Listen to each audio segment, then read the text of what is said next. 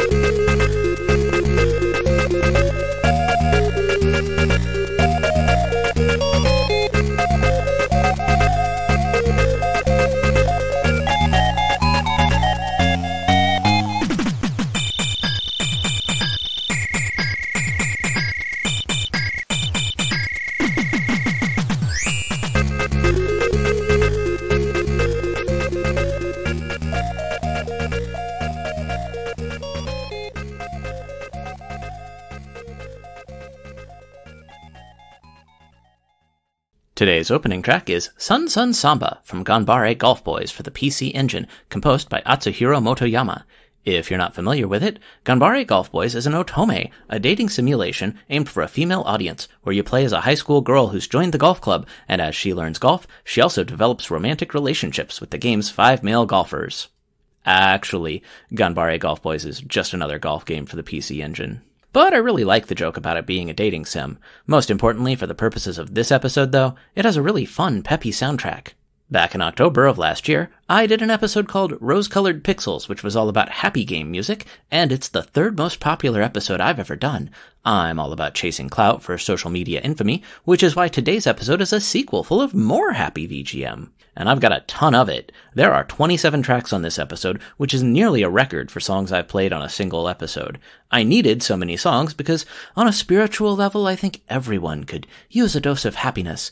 And on a practical level, all these tracks are very short, which may be an unintentional message from the universe on the fleeting nature of happiness. No time to dwell on that though. Our first block of songs starts off with Pause Menu from the Pokemon trading card game for the Game Boy, composed by Ichiro Shimakura. I can honestly say that the Pokemon trading card game has my favorite soundtrack for a Game Boy Pokemon game. I was just getting out of high school when Pokemon launched as a franchise in the US, and so I don't have a lot of nostalgia for the early games in the series. Next up, It'll be Smash a Home Run Baseball Match from Dating Sim Foundational Text Tokimeki Memorial for the PC Engine CD. This was probably composed by Mikio Saito and his lovely flowing mane of black hair, but it could also have been done by Seiya Murai, Miki Higashino, Hiro Noguchi, or some combination thereof. Anyway, Tokimeki Memorial is to dating sims what Socrates is to Western philosophy. While it's not the first dating sim, it is the most impactful of the early dating sims. But wait, there's another baseball song after that, it's going to be Pitching and Fielding from the Super Nintendo port of Super Baseball 2020, composed by Jay Kuramochi and Hiru Ikeda. Super Baseball 2020 was originally a Neo Geo title about baseball in the future year 2020, played by cyborgs and robots on a field that grew increasingly full of landmines as the game went on, and it's one of the great disappointments of my life that actual baseball in the year 2020 was significantly less interesting than what my childhood had led me to hope for. Anyway, the SNES version of this game has a soundtrack that's quite a bit different from the original, along with a lot of other gameplay changes to fit a game for the home market instead of an arcade title. Moving on to the fourth song in the block, it'll be Hang Glider from Pilotwings for the Super Nintendo, composed by Soyo Oka. Pilotwings was as much of a tech demo for the SNES Mode 7 functionality as a game, but it did give us Miss Oka's excellent soundtrack, and this song feels like taking flight for an adventure. Song 5 in the block is Tengu Man from Mega Man and Bass for the Super Nintendo, or maybe it should be Tengu Man from Rockman and Forte for the Super Famicom, and I say that because we didn't actually get this version of the game here in North America, but we did get the Game Boy Advance port. I'm going with the American title because I think it's a title more well known to anyone who's out there searching for this. I couldn't find individual track credits, but this song was composed by some combination of Toshihiko Horiyama, Naoshi Mizuta, and Akari Kaida. The block's secret sixth song is not actually a secret at all. I just like alliteration. It's gonna be Afternoon Break from Persona 3 for the PS2, composed by show favorite Shoji Meguro. This is a track that plays during your afternoons in Persona 3, where you get to be free from school and just have fun as a teenager. The stupendous smiling seventh song in the block is Bustling Street from Landstalker for the Genesis, composed by Motoaki Takenouchi. I'm not familiar with this game, but I do know Takenouchi is best known for his work on the Shining Force series, including being the composer for Shining Force 2. This track feels like shopping at a busy market on a sunny day where there are cool new trinkets in every shop and around every corner. And finally, the block closes with Blue Town from Saga Frontier for the PlayStation, composed by early Saga franchise composer Kenji Ito. Much like Live A Live, Saga Frontier is a non-linear JRPG from Square's Golden Age that's been remastered for modern hardware, but unlike Live A Live, Saga Frontier was actually translated into English for its original release. Now, let's get happy with some songs.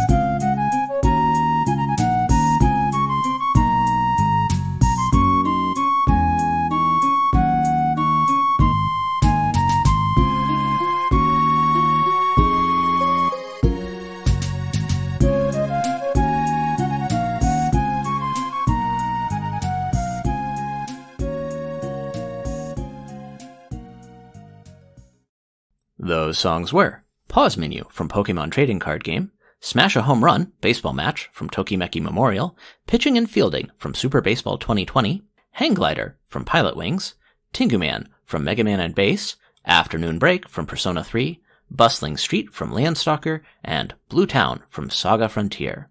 Now, let's talk about our next set of happy tracks. We'll start off the music segment with Opa Opa from the arcade version of foundational cute 'em up game Fantasy Zone, composed by Sega legend Hiroshi Kawaguchi. After that, we're going to hear Stage 2 Magical Town from McDonald's Treasure Land Adventure, everybody's favorite licensed game for the Genesis that was created by famed development house Treasure. It was composed by Katsuhiro Suzuki, and it actually sounds a little like a Michael Jackson song to me, which is funny because the third song in the block is actually from a game where Michael Jackson contributed to the soundtrack.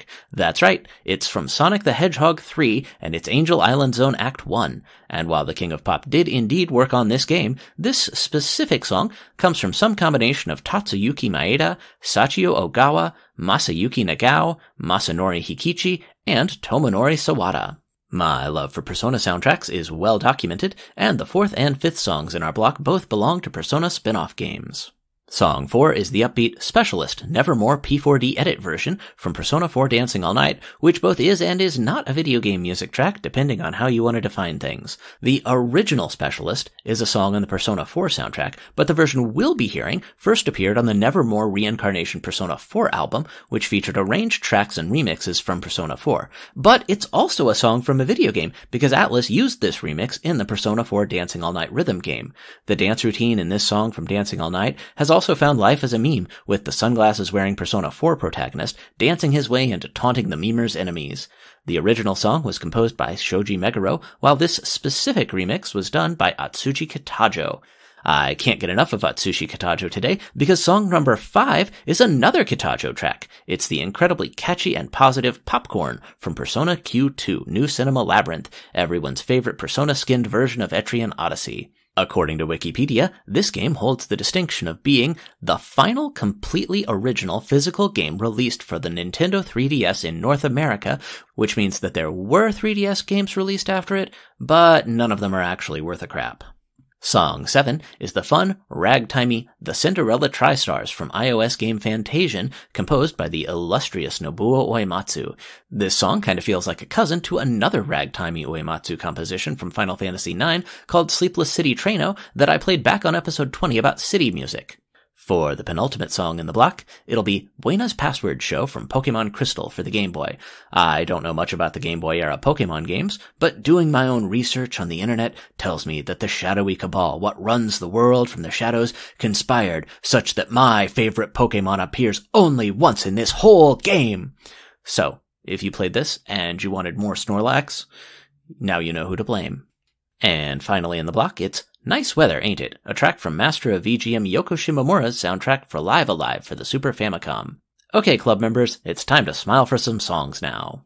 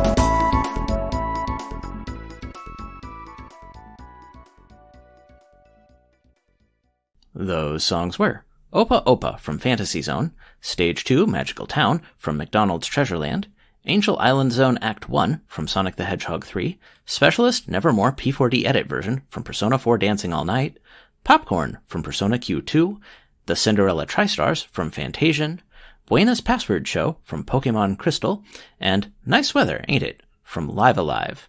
And now, for a word from our sponsor.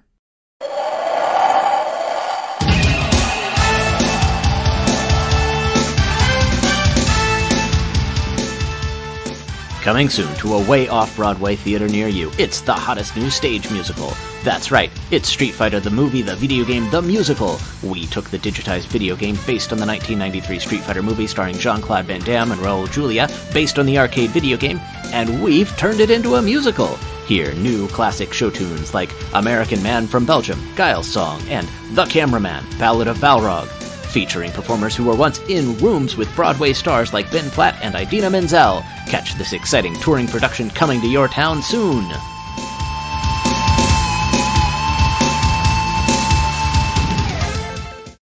Now, back to the show. The Super Marcato Brothers podcast did a show on composer Masashi Hamauzu a few years ago, and one of the songs they played was Happy Melody from multi-platform game World of Final Fantasy. I heard it, and I knew immediately that I had to add this song to this playlist, and now I'm gonna play it and credit both Hamauzu-san and the Marcatos. This is an amazing perky song from a great soundtrack, and if you want to check out more of Hamauzu's stuff, I'll link that Super Marcato Brothers episode in the show notes. After that, it'll be Crescent Beach from Yoshi's Safari for the Super Nintendo, composed by some combination of Yasushi Tokunaga, Yoshiki Nishimura, and Miyuki Uemura. Yoshi's Safari is one of a very small number of SNES games that relies exclusively on the Super Scope, the system's odd light gun peripheral that was a weird combination of sniper rifle and bazooka. Look it up if you've never seen one and you'll get what I'm talking about. Our third song in our third music block is Roller Coaster Runner from The Flash for the Sega Master System. Flash seems like a difficult superhero to adapt to video games, but from what I've seen of this game, it looks like they tried to make a platformer that was similar to the early Sonic the Hedgehog games, and that's as good a route to go as any. This is one of only a handful of Master System soundtracks from composer Jeroen Tel, but he did a lot more soundtracks for the Commodore 64. Speaking of songs from games on systems where the composer is best known for his work on other systems, our fourth track is The Island of Everlasting Summer from Super Adventure Island for the SNES, composed by the incomparable Yuzo Koshiro. Just like Jeroen Tel on the Master System, there are only a handful of Koshiro soundtracks for the Super Nintendo, but all of them are transcendent. Song Roman numeral V in the block is After School from Persona 3 Portable, composed by Persona franchise cornerstone Shoji Meguro. Just like the Persona 3 track I played in the first block, this is one of the songs that plays during your free time after school. It reworks one of the motifs from a vocal track on the soundtrack into a brassy instrumental. Next up, it'll be Town, also known as Cheerful Street Corner, from Shining Force for the Genesis, composed by Masahiko Yoshimura. I love this track and I love Shining Force. Minor spoiler alert from a 31 year old game here. The ambiguous storytelling of the game's epilogue is one of my all time favorite plot notes in a JRPG, and I also love how Yoshimura's soundtrack puts the cherry on top of a game that was my favorite strategy RPG for over 15 years. I did a little math, and 77.77777% of the songs in this block come before the wonderful Bicycle from Pokemon Black and White for the DS, composed by Hitomi Sato. There are a lot of happy songs in the Pokemon series, probably because the games have a very cheerful facade that conceals their depth and also the distressing implications of their plots. The song in the 2 to the third power slot in the block is My Friends from Mega Man Star Force 2 for the DS, composed by Marika Suzuki. I've never played anything in the Mega Man Star Force series or its predecessor series Mega Man Battle Network, but my podcasting bro RayjKayj played some tracks on his show VGMporium that inspired me to dig into this series and wow, these soundtracks are good. Finally, we'll finish off the block with our ninth song, The Great Arch from Romancing Saga 3 for the Super Famicom, composed by Kenji Ito. Marvel Comics editor Stan Lee used to talk warmly about the Marvel bullpen of artists, writers, and others who worked on the comics, and I have similar feelings about the composers from Square's golden age like Kenji Ito. That's all the talk I need to do. Let's hear some songs.